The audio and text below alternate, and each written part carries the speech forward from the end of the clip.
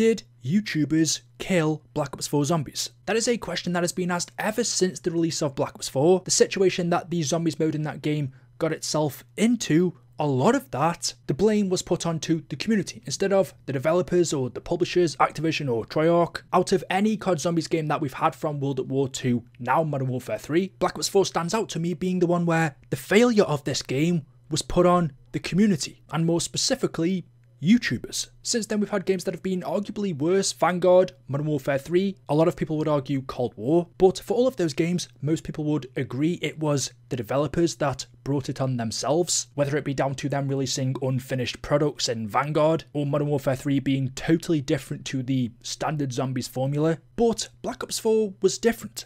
This was supposed to be the game that pushed zombies to the next level releasing with four maps on day one, a brand new storyline, a brand new set of characters, a whole revamp to the perk system, new special weapons, a new gobblegum system being the elixirs, a huge customization system. I don't think there's anyone arguing that this was the most ambitious and biggest zombies to date, but it failed. It did. And instead of that being down to the developers, as it usually would be in any game, a lot of the blame was put on the community. It was us that ruined Black Ops 4 Zombies. But was it? Was all of the criticism valid? Was some of it just made up for attention, views? Were some of the complaints over the top or petty? Or was pretty much everything that was said about Black Ops 4 valid and true? And the reason why this conception existed was because everybody had a similar opinion. The reason why it felt like the community killed off Black Ops 4 rather than its makers was because a lot of people shared the same criticisms. And so wanting to see if any of this was true and if my complaints what I had back in the day were still valid and hold truth. And it's hard to say for every little thing now because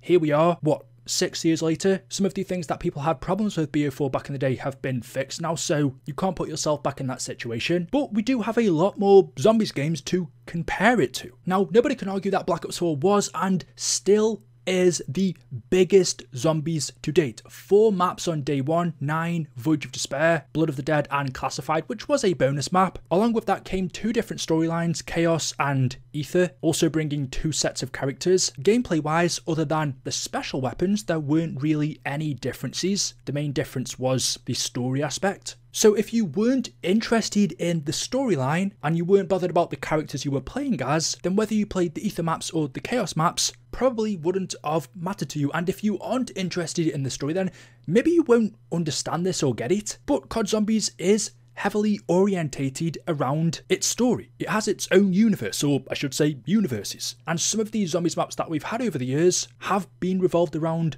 the storyline. Instead of the map being built first and then implementing the story into it, I think we've had some zombies maps where Treyarch thought of the story in advance and said, okay, that's where we're going to go with it, and we now need to build a zombie map around that. And that's why the storyline is important. Zombies is kind of a weird game in that way, especially because, well, it's still a side mode. So even before Black Ops 4 released and we learned about this brand new Chaos storyline, well, you've already got the Ether story that exists, that has been going on since World at War for five games at this point. It is something that everybody is familiar with, everybody loves, and then to introduce this new one, which undoubtedly would take away from the Ether story, started to create a lot of problems, as you'll see later on when we get into the DLC cycle. The other big change with Black Ops 4 is, I would say, from World at War to Black Ops 2, each of those games feel relatively similar in terms of gameplay. You can play either of them and feel their familiarity. Yes, each map is different, but the actual feel of those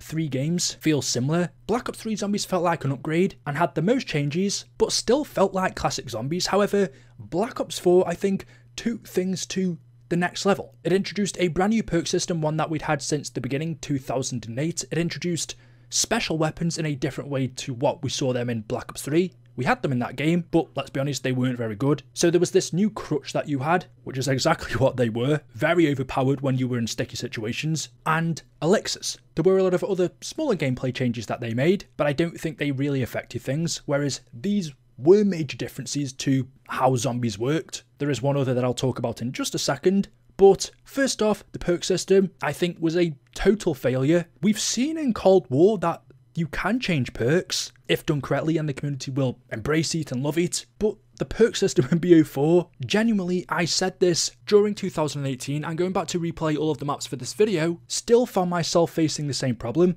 I just don't bother buying perks in BO4. I would always get Quick Revive first, then Juggernog, and then probably Double Tap and Speed Cola in the older Zombies games. Every single match, perks were a necessity. That was one of the first things you saved up your money for. But in BO4, perks were always at the back of my mind because they didn't feel like you had to get them.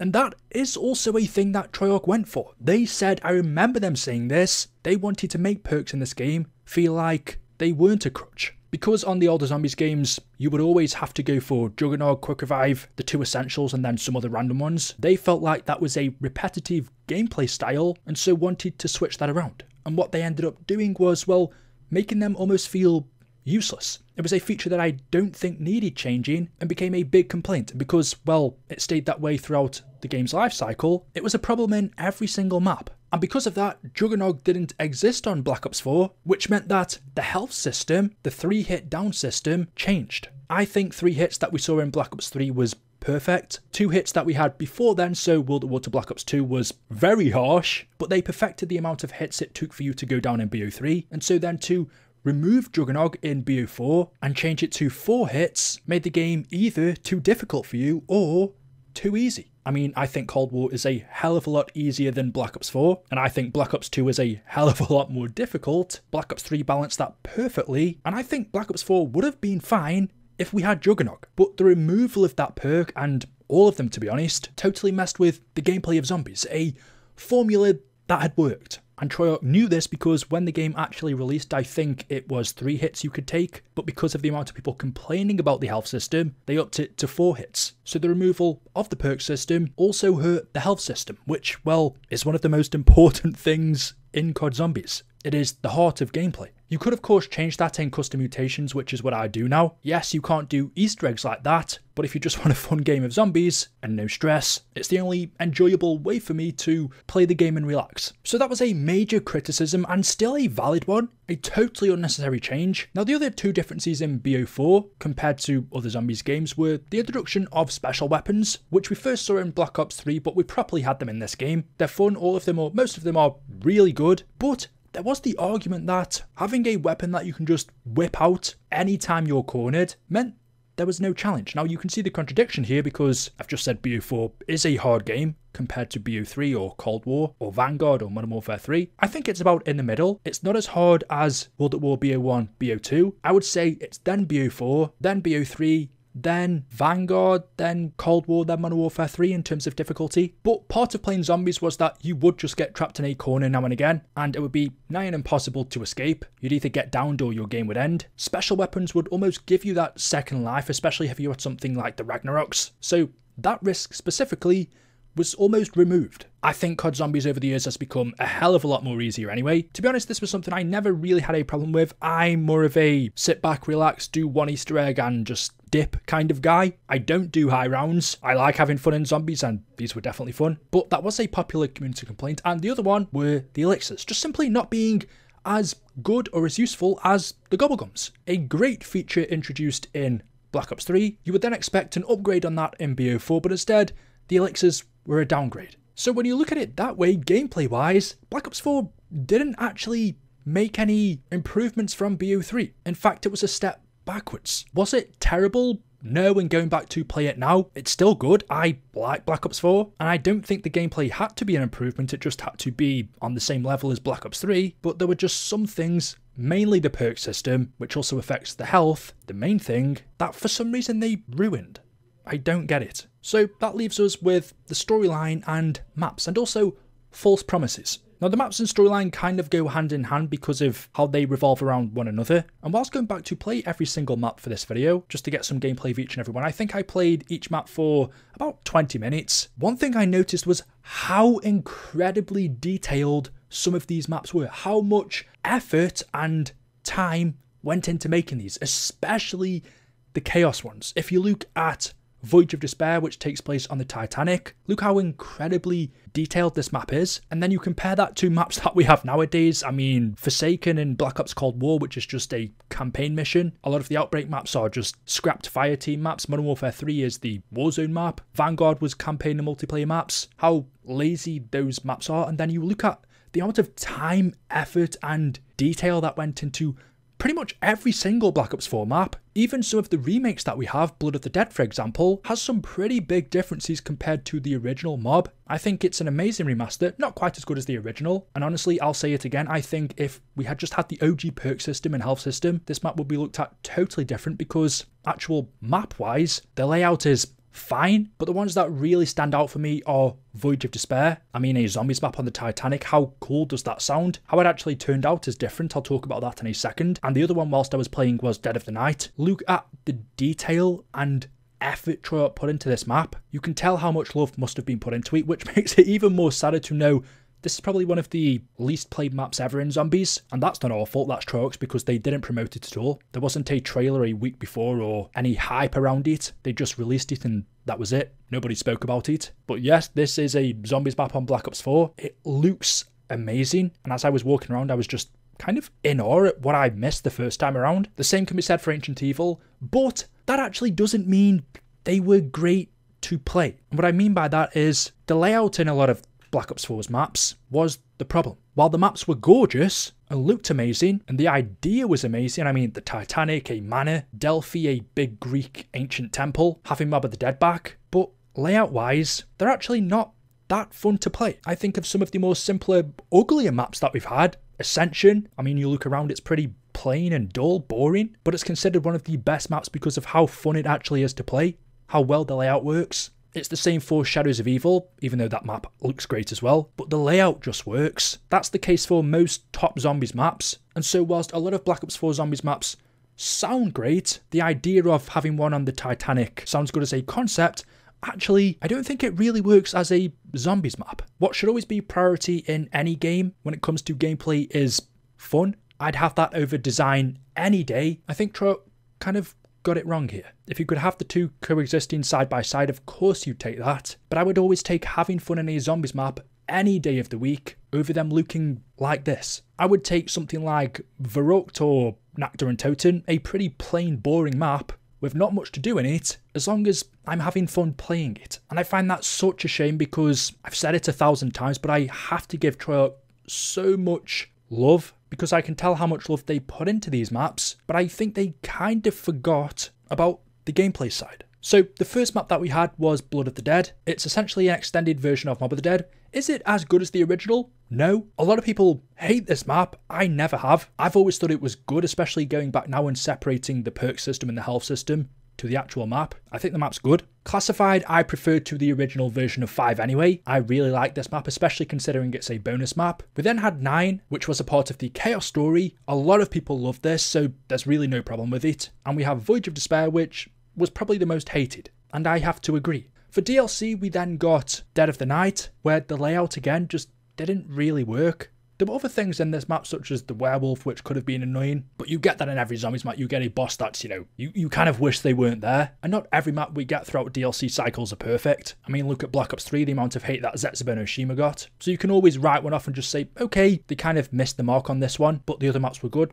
Was that the case with BO4? Well, after that we had Ancient Evil, which was okay, it was nothing to rave about. We then had Alpha Omega, a remake of Nuketown. I don't think as good as the original, but still not terrible. And then DLC 4 was Tag der Toten, which was a remake of Call of the Dead. But you can see by these final two maps, they were remakes of older maps. And the complaint was, well, as we went on through the DLC life cycle, considering for the Ether story we had no new zombies maps, they were remakes. Everybody said Treyarch had kind of sacked this game off by this point. They'd said, you know what, we don't have the time, we don't have the budget, and people are also falling out of love with this game. Let's just create these two maps, not put as much effort into them as we should. And that was Alpha Omega and Tag Toten. And whilst I think these maps are good, this is where it came back to the community or YouTubers, and people were saying, well, Luke, all of the complaining that you did about the game in the beginning, this is the result of that. You've ruined this game by causing the developers to think they shouldn't put effort into it because everybody hates the game anyway. There were also rumours of budget cuts and, well, we know Jason Blundell left, so of course that had a role to play with what happened towards these final two maps. But a lot of the blame was also put down to the community just simply complaining too much about the game in the beginning, about the perks, the health system, 50% of the maps not being great, and this was a result of that. But I go back to play these now and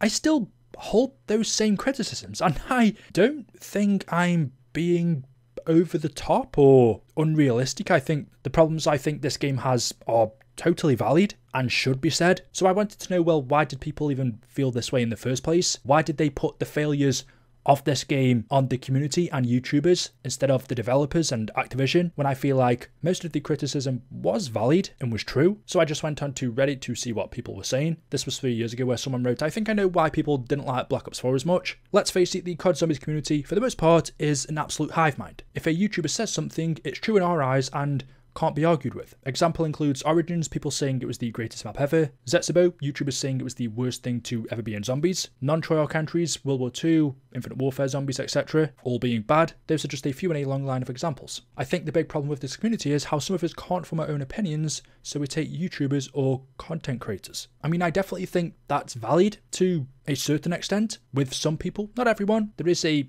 small hive mind where you hear someone else's opinion and you have to think the same thing because they must know what they're on about if they're a YouTuber or person who's interacted with Troy. Somebody else said, I've been saying this for a long time. YouTubers say something, people take their word as gospel. When you listen to YouTubers or the sub to form your opinions, it's only when everyone moves on to the next game where you can actually form your own opinions on the previous ones. That's the reason why the love hate cycle with these games exists. And the final one said, Everyone seems to dick ride Black Ops 3 Zombies and says it's the ultimate best zombies experience and really over exaggerate it, saying that Zombies has fallen and it won't be like it once was ever since BO4 and Cold War came out, when in reality Cold War has more content than BO3, more replayability with Outbreak and Onslaught, and Easter eggs were made easier so more people can actually know and understand the massive storyline that Zombies has. Again, I think there is some truth to that. Every game that comes out since Black Ops 3 has been compared to that because that's the standard that was set by Treyarch, but then a lot of the other stuff is purely opinion based. Whilst yes, Cold War might have more content than Black Ops 3, a lot of people said it didn't because modes like Outbreak had a mixed reception. A lot of people